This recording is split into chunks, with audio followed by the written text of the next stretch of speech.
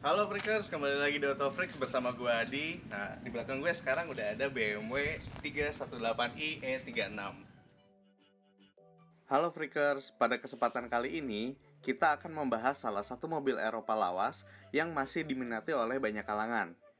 Ya, ini adalah BMW seri 3 sedan generasi kedua. Oke, uh, kalau kita bisa lihat E36 ini dia adalah kelanjutan dari seri E30 yang mana adalah itu versi terdahulunya di bagian depan kita bisa lihat ada ciri khas BMW yaitu dengan kidney grillnya dan juga ada e, sudah menjadi standar lampunya menggunakan proyektor. Nah di bawahnya pun ada bagian fog lampnya. Nah ini secara keseluruhan desainnya sekarang lebih membulat. Secara penampilan BMW E36 ini terlihat lebih modern berkat desainnya yang lebih membulat. Namun, tetap mengusung ciri khas desain BMW yang sporty namun simple. Selanjutnya, mari kita bahas bagian sampingnya. Beralih ke samping, uh, bisa dilihat di sini uh, dia masih menggunakan ban 15 inci dengan velg kaleng yang ditutup dengan dop dan uh, detail di sampingnya di sini sudah disediakan juga list supaya tidak baret dan ini posisi untuk lampu setnya Nah, untuk uh, bagian pengereman, pengereman pun juga mereka menggunakan dual cakram di setiap uh, tipenya. Dan juga untuk uh, mobil yang masuk ke Indonesia ini BMW memasarkan hanya tipe sedan 4 pintu. Detail lainnya, BMW E36 memiliki tempat atau lubang untuk memasang dongkrak di bagian samping. Sejatinya, BMW E36 memiliki bentuk bodi lainnya, seperti coupe 2 pintu, Cabrio dua pintu dengan atap yang bisa terlipat, juga model station wagon atau estate. Fakta uniknya, mobil ini tuh berpenggerak roda belakang, makanya selalu menjadi incaran para anak muda untuk belajar drift. Selain sering buat dipakai ngedrift, mobil ini pun juga sering masuk ke dunia layar kaca, di film-film Hollywood, dan juga di video-video klip musik. BMW juga membuat versi kencang dari mobil ini yang dituning kembali oleh divisi tuner yang merancang BMW seri M3. Untuk bagian belakangnya kita bisa di, uh, bisa lihat di sini ini sudah tampak lebih modern dibandingkan uh, seri E30 ya. Bisa dilihat di sini lampunya sudah lebih membulat, tidak lagi memanjang seperti E30 dan bukaan bagasinya pun sekarang lebih ke bawah, tidak seperti E30 yang hanya di bagian atas bagasi saja.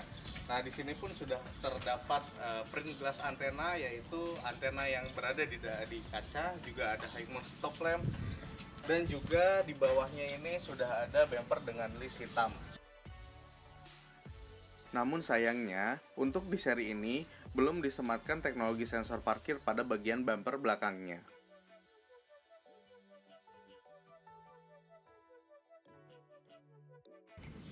Kalau kita lihat bagasinya, bagasinya cukup luas di sini, jauh lebih luas dibandingkan seri E30. Nah, yang membuat unik adalah uh, perbedaan penempatan aki yang memang dulu E30 berada di depan, sekarang berada di belakang sebelah sisi kanan dan juga terdapat toolkit standar dari BMW itu yang berada di uh, pintu bagasi sebagai standar.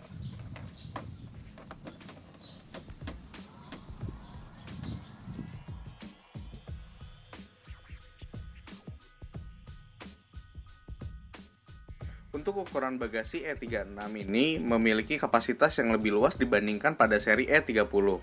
Walaupun kini ada penempatan aki di bagian sisi kanan bagasi, namun itu tidak mengganggu kapasitas dari bagasinya. Lantas, bagaimana dengan kapasitas mesinnya? Untuk yang uh, masuk ke Indonesia ini, BMW menghadirkan tiga jenis uh, mesin, yaitu uh, 318i, 320i, dan 323i yang masing-masing itu uh, masih mengikuti sesuai tipenya yaitu uh, yang seperti ada di sini 318i dia berkode uh, mesin M43 1800 cc dan berpenggerak roda belakang. Untuk BMW 318i lansiran tahun 97 ini dibekali mesin bensin 4 silinder SOHC dengan kode M43 1800 cc bertenaga 115 horsepower dan torsi 168 Nm yang disalurkan ke dua roda belakangnya. Untuk model lainnya, BMW memiliki jenis mesin lainnya yang berkapasitas lebih besar. Bahkan, beberapa tipe menggunakan bensin-bensin 6 silinder. Juga, BMW menyematkan mesin diesel untuk beberapa tipe di seri 3 ini.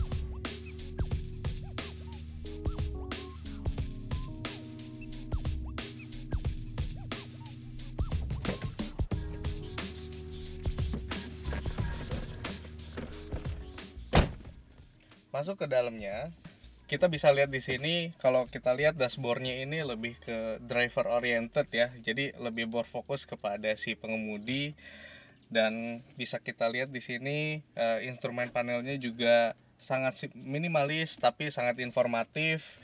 Juga di sini model dashboardnya ini sudah lebih modern dan di, dilengkapi juga dengan AC dual climate control yang bisa diatur secara elektris atau digital.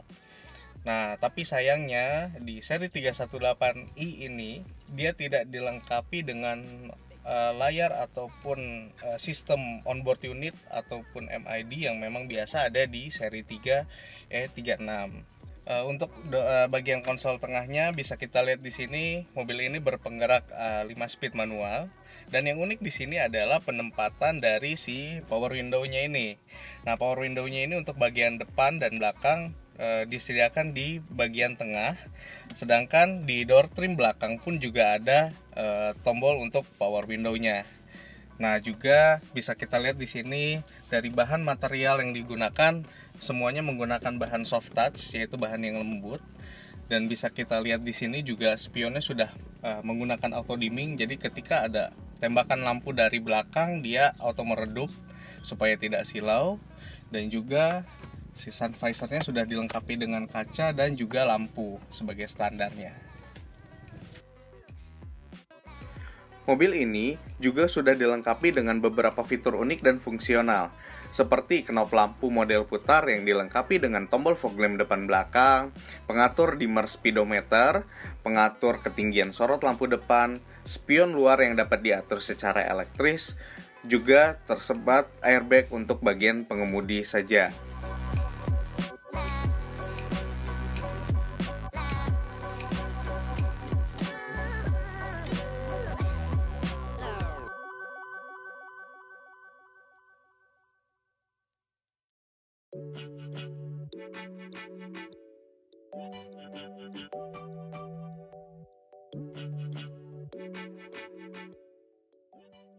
Untuk pengaturan setir, baru hanya tilt saja, belum termasuk teleskopik, namun itu membantu pengemudi mendapatkan posisi duduk yang pas, termasuk pengaturan bangku depan yang dapat diatur ketinggiannya.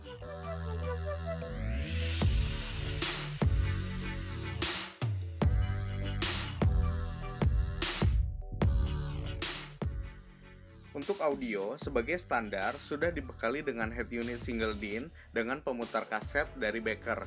Namun, pada unit yang kami review sudah diganti dengan produk aftermarket.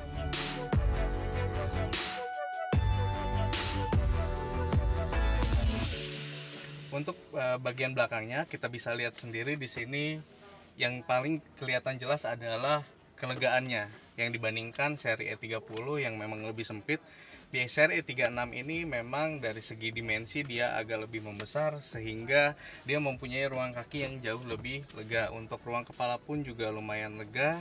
Dan di sini ada akomodasi berupa uh, kantong di, uh, di balik kursinya itu ada di samping kiri kanannya. Juga ada tombol power window di sini. Dan di bagian pilar C-nya ini terdapat lampu uh, untuk baca. Tapi sayangnya di bagian kursi tengah ini dia tidak ada akomodasi armrest untuk tangan. Untuk bagian belakang didukung oleh jok yang sudah dilapisi kulit sehingga terasa nyaman. Namun agak sedikit terganggu oleh gundukan di bagian tengah karena adanya tunnel atau ruang untuk soft garden belakang.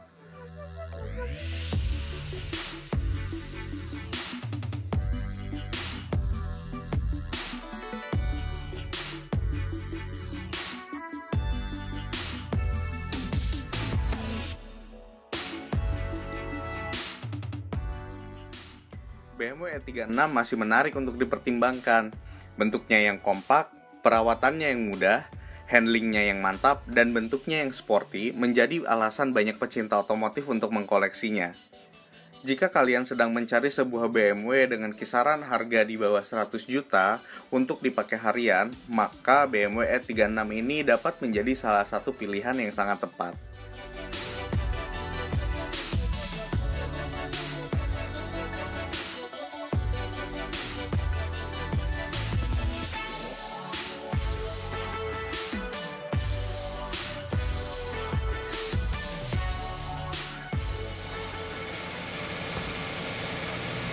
Oke Freakers, jadi gimana nih menurut kalian mengenai BMW E36 seri 318i ini?